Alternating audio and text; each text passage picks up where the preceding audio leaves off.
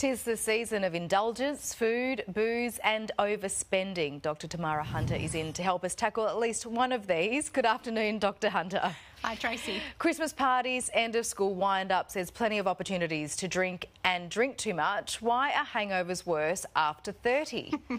well, Australians have always been known as a nation of drinkers, and unfortunately, or fortunately, at our festive times, that consumption tends to go up. Now, um, one of the issues as we get older is that our systems tend to be less robust than they were mm. when we were younger. So, for example, our fat mass compared to our muscle mass, mass tends to go up up, and so therefore our blood alcohol concentration levels go up. Um, we have a liver that doesn't uh, metabolize alcohol as well, and so alcohol tends to hang around. And as we age, we also tend to be on medications that can interact with alcohol, things like antidepressants, anti anxiolytics, blood pressure medications, okay. blood thinners, even diabetic medications. So alcohol can be a bit of a problem as we age. And, and yeah, well, alcohol can be particularly rough on those aged over 65. Why is that?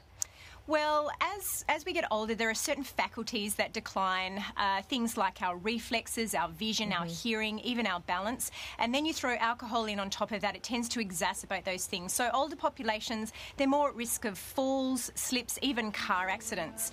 Chronic alcohol consumption can also exacerbate things like dementia, musculoskeletal problems, fatty liver disease, cardiovascular disease. So the problems with alcohol last well beyond the time in which we've sobered up.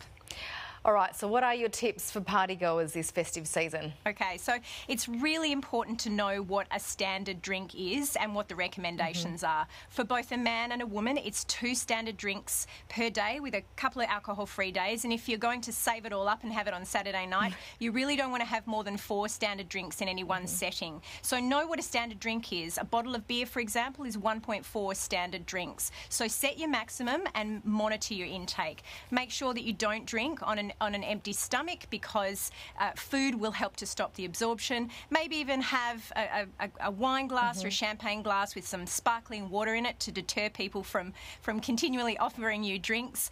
And of course, Tracy, don't drink and drive. Absolutely. Just with those standard drinks, the number of standard drinks, does that reflect all generations here? I mean, if you're a bit older, say over 65s, should there be more of a limit? At the moment, the Australian recommendations don't really okay. take age into account. It is a standard across the population, but absolutely it would make sense to perhaps slow down the drinking yeah. as we age. All in moderation. All right, absolutely. Dr. Tamara Hunter, thank you very much. Thank you.